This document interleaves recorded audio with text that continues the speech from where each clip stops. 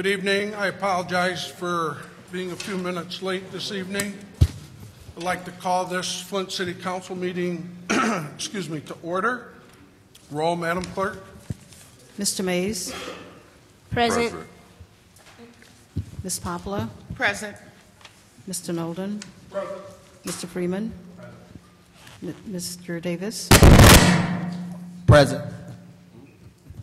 Mr. Neely, Ms. Galloway, Present. Ms. Van Buren, Present. Mr. Kincaid.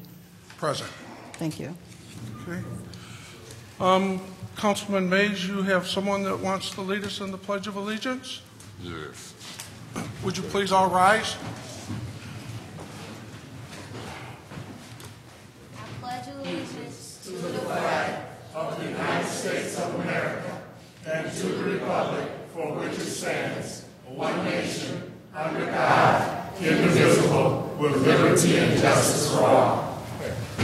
Mr. President, I Con- would like a moment of silence. Councilwoman Poplar. Could you please all rise for a moment of silence? Uh, Councilperson Poplar has an announcement. Thank you, uh, Mr. President. I would like a moment of silence for all of the lives that were lost on 370. We may not have known any of them, but God has blessed us that we were not caught up in it. So let's please remember those families and the ones that were lost at sea. Thank you. Thank you. Thank you very much. Thank you.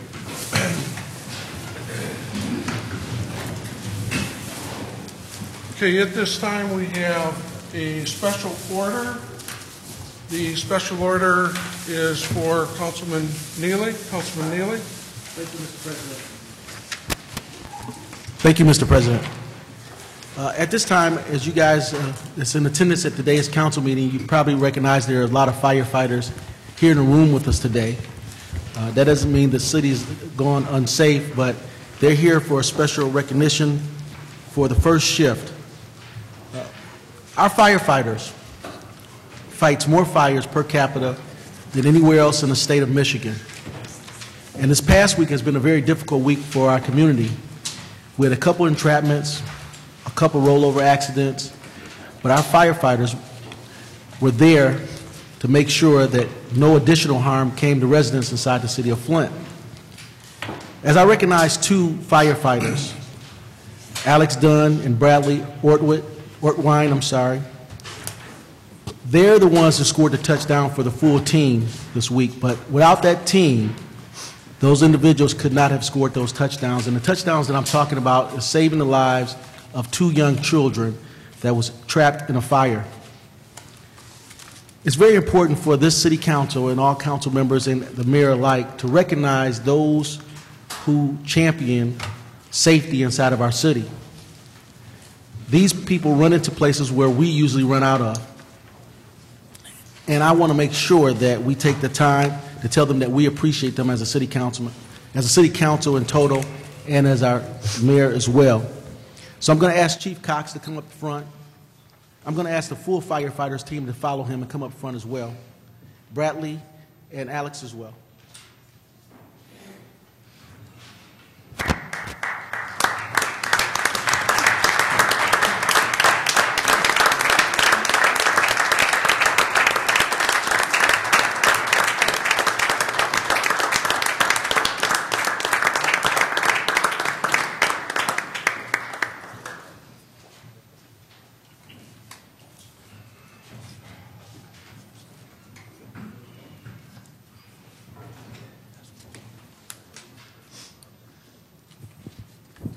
We recognize these individuals for their fine efforts and heroic duty, we want to put them before the community just so we can say thank you. Mayor, come on up too.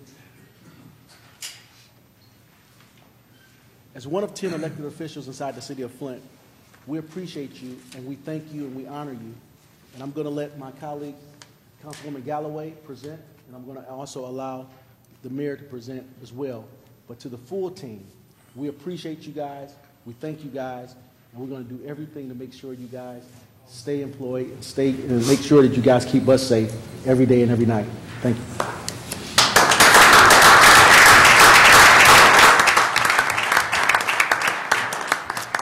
Be it resolved on behalf of the citizens of the City of Flint, the Flint City Council is pleased to honor Alex Dunn, firefighter EMT for the Flint Fire Department, for his bravery, dedication, and commitment to the citizens of the City of Flint, and for his recent heroic actions in saving the lives of two young children. By order of the Flint City Council of the City of Flint, Michigan, this 24th day of March, 2014.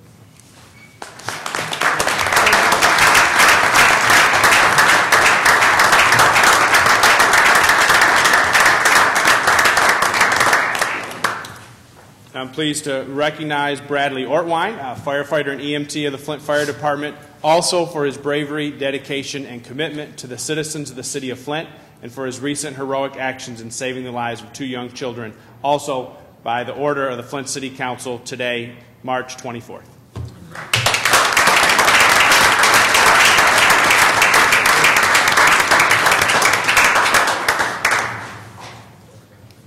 We appreciate you guys, and we thank you, and I think that deserves a standing ovation for these guys.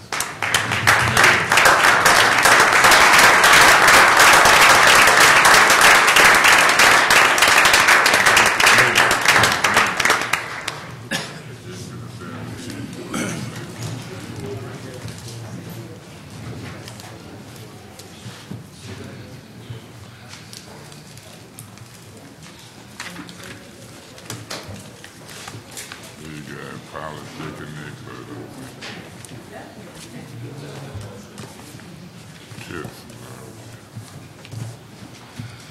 Yeah. Yes, sir. Okay, next, we have a special order to allow remarks by Mayor Walling. Mayor?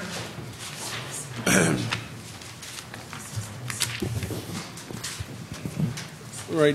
Good evening, everyone. Uh, My remarks will be brief. Um, I want to speak to the resolutions that you have um, for consideration uh, later in this meeting, uh, particularly the transition plan.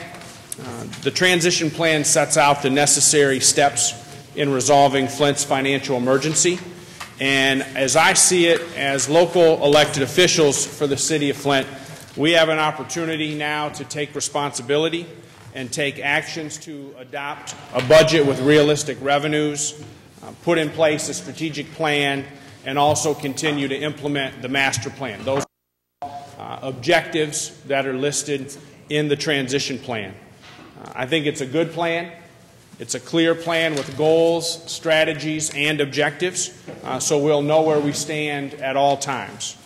Uh, The plan includes an opportunity for input uh, from all of us as elected officials in each of the goal areas, including governance, and that's uh, an area where there's been some discussion about the appropriate role of the Blue Ribbon Governance Committee that myself and Councilman Nolden um, serve on. I think you'll be pleased to see that even in that area, there are two opportunities uh, for us as elected officials to provide input.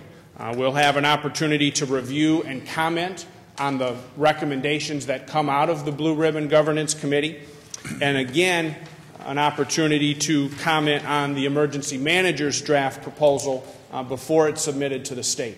So in every one of these seven action areas, there's a, a role for us as local elected officials. Uh, the other areas have been given quite a bit of attention through the finance committee meeting. Uh, and you've seen the timelines and the process for the input, not only for this body, uh, but also for the public, to go back to having uh, public hearings on the budget as we've done in the past. So I believe we need to get this work done. Uh, we need to be prepared to lead Flint forward, and I hope that you would uh, please join me in doing our part over the next few months to complete these objectives, uh, starting tonight uh, with a show of support uh, for that seven-point transition management plan. Thank you, Councilman. Thank you, Mayor. Mr. President, Um, well, I'm still on special order right now, Mr. Mays. When I get done, um, I'll consider um, taking comments from council members, but right now I'm going to finish the uh, special order. Our next special order is uh, from Mr. Earley, uh, the emergency manager. Mr. Earley? Thank you, Mr. President. To the members of the council, uh, you'll recall a few months ago I came before you and discussed a preliminary draft of what I had uh, coined as a seven-point transition management plan uh, designed to lay out a criteria whereby at the appropriate time, when the criteria has been met, uh, we can talk about the next steps of Act uh, 436 in transitioning local control back to home rule order. Since that time, uh, we discussed that initial draft. Uh, you've had an opportunity to look at uh, the points. There are some issues that I want to specifically call to your attention this evening as it relates to the plan and my belief that we're on the right track to making that uh, ascertainment, if you will, about where the city of Flint is headed going forward. I want to take just a few minutes to walk through the points with you, making the presentation and give you some idea as to where we are with the objectives so that you'll have a clear understanding following my presentation of what the goal is and how I hope that we can get there together. I would ask that you allow me to make my presentation first, and then I'll be more than happy to entertain any questions that you may have regarding the plan. It is called a seven-point transition management plan because that is exactly what it does. It chooses seven points of criterion of measurement with goals, strategy, and objectives, and a status point to keep track of the progress that has been made. The overall goal of the plan is to provide a strategy for determining and evaluating relevant specific criteria for assessing when the City of Flint might be prepared to emerge from emergency manager oversight to a transition advisory board, or a TAB as I will refer to it henceforth. Many of you know that that is a provision of Act 436, and we are following that course given the progress that has been made over the past couple of years in dealing with Flint's emergency, financial emergency. The seven points identified provide a comprehensive and well-defined benchmarks to be reviewed before the determination is made, and that's critical because that gives us the most objective viewpoint from which to make that decision based upon the accomplishments towards the seven points. The plan also defines a data-driven and measurable process for the objective, results-oriented determination of facts. And the plan also establishes the criteria now so that it is clear what the conditions are that will have to be satisfied before the emergency manager will recommend the establishment of a tab. The first plan, or point in the plan, obviously is very critical.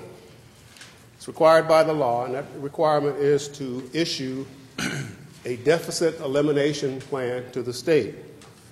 Now, some of you know there was a, a plan eliminated uh, for 1112, and we have since eliminated, or um, not eliminated, was, uh, uh, was presented for 1112, and we have since presented an elimination plan for 1213. That deficit elimination plan will be presented to the council and the mayor once we get some input back from the state with regards to the proposal. Uh, we've already been advised that, and again, this is a draft, so already been, provide, or been advised that the uh, 1213 deficit elimination plan is credible and it is something we will be pursuing as we go forward. So we've outlined pretty much the criteria for what deficit elimination will look like. The objectives, obviously, uh, is to have the City Council pass a resolution in support of the deficit elimination plan uh, and to uh, get Treasury to sign off on the deficit elimination plan and to confirm with the mayor and the council that the deficit elimination plan actions will be a top priority in budgeting. A deficit elimination plan that is not implemented only adds to the financial burden and continues to draw the city further from the goal of solvency and self-governance. So that is the first plan, and that, or the first point in the plan, which is required by the Act. Now, the other six points are not necessarily required by the Act, but the Act does require that a decision be made about the solvency of the city. And so the only way to do that is to lay out criteria that you're going to use to determine the long-term probability of success once the uh, emergency is declared abated. So that second point relates directly to that issue, and that is a five-year financial analysis. And one of the things that's critical to forecasting and budgeting is to have in place an ongoing financial analysis of revenues and expenditures. The development and monitoring and updating of a five-year financial analysis is critical to the ongoing challenges of financial solvency.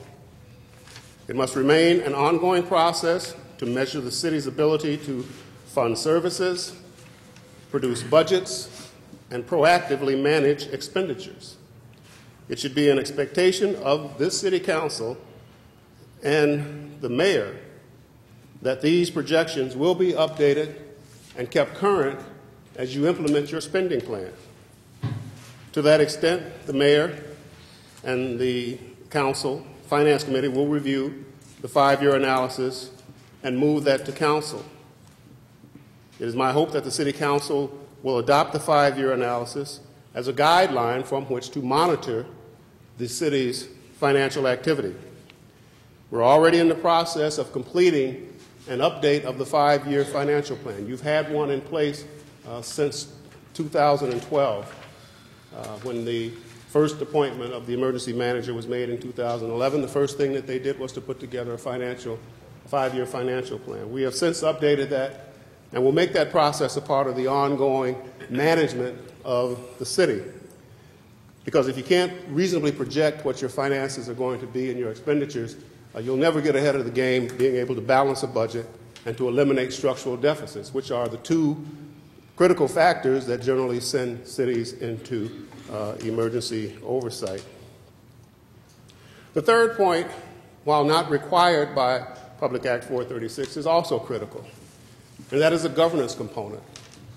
One of the things that will be most critical as you emerge from the uh, financial man- or the uh, emergency manager oversight is that you have to be able to govern the businesses and affairs of the city. Not only the financial aspects of it, but the organizational aspects of it, as well as the legislative and the, uh, the policy oriented decisions that you have to make as the legislative body of the city of Flint.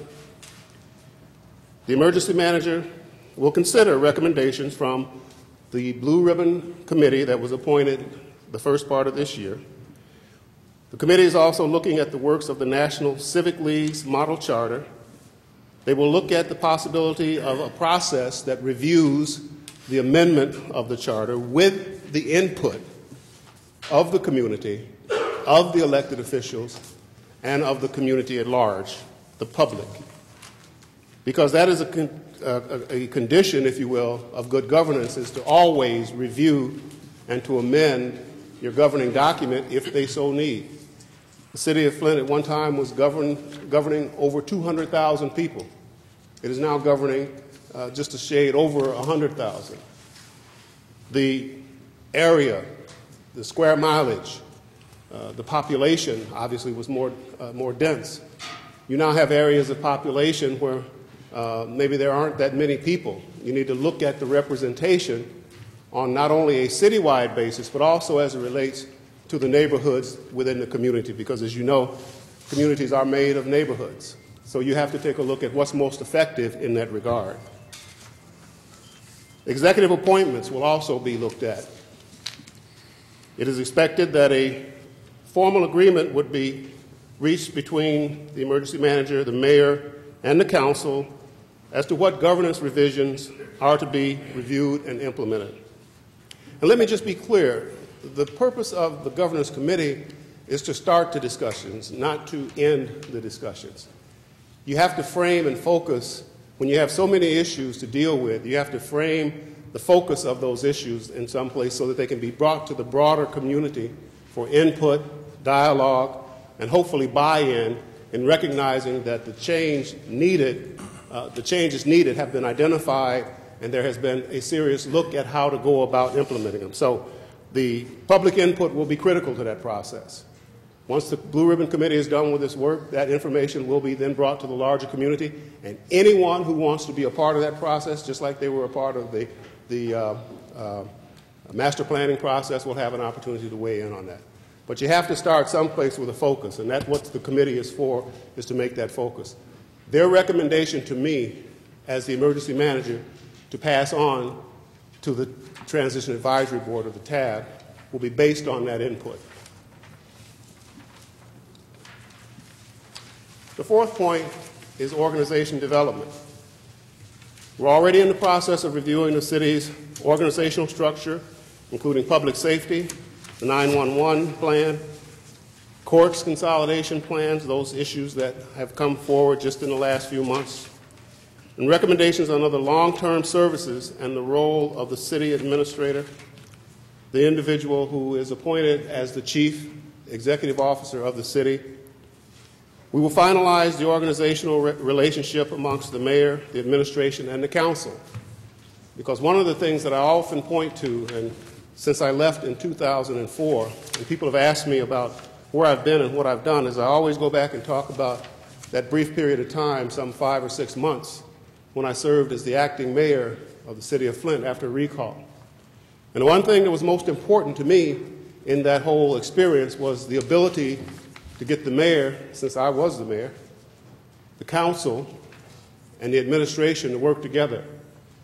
And as I look around, I think there's only one member of the council who was around at that time, uh, but will attest to the fact that we were able, because of that work, and of course we had the emergency manager at that point, uh, at that time, appointed, uh, but that was just about the time I was coming off of my, my stint as the interim mayor. But we were able to get some things done so that when the state came in, we had a blueprint, we had a game plan that was based on meetings and discussions about how to move the city forward.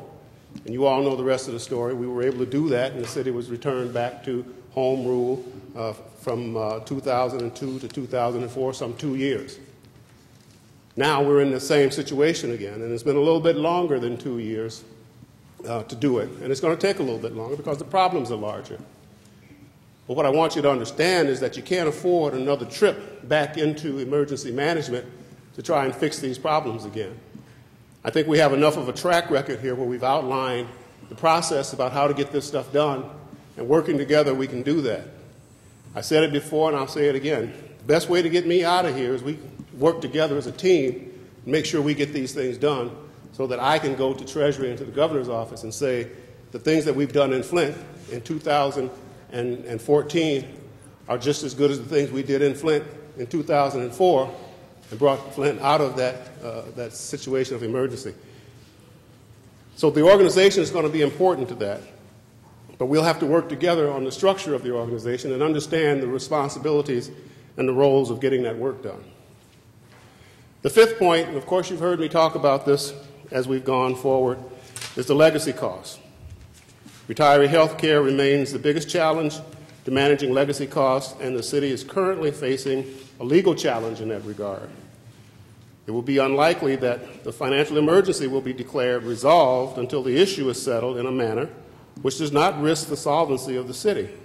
Sustaining the changes within retiree health care are essential to the city's future solvency and long-term sustainability.